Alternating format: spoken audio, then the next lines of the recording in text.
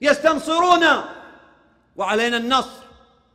من يستنصرنا في الدين يجب علينا أن ننصرهم بقدر ما نتمكن بفعل أو قول.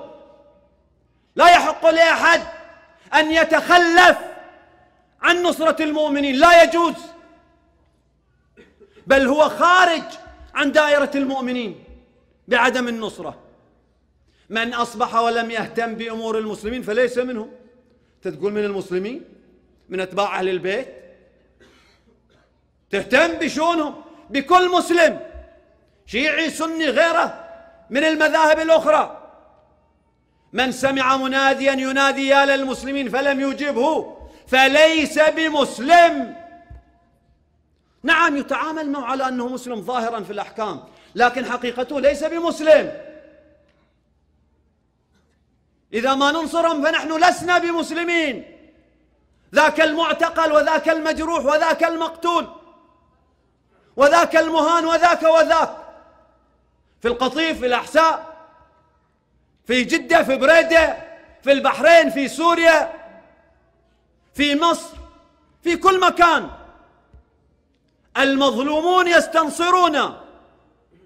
ونحن لابد أن ندافع عن المظلوم ضد الظالم. ولا يحق ولا يجوز أن ندافع عن ظالم مهما كانت الأمور. نحن لابد أن نكون خصما لكل ظالم. كونوا للظالم خصما كما يقول أمير سلام الله عليه. ولابد أن نكون عونا لكل مظلوم. كونا للظالم خصما وللمظلوم عونا.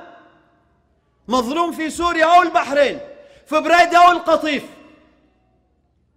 الأحساء وفي جدة. نحن معهم. وندافع عنهم. وهذا هو الإسلام. الإسلام يجمع كل المسلمين. كل مذهب من المذاهب لا يجمع المسلمين. حتى التشيع. مذهب الشيعة لا يجمع المسلمين. يجمع أتباعه. لكن الإسلام جامع. للمسلم ولو نطق بالشهادتين نفاقا. بس مسلم خيمة الإسلام تجمعه وتحميه.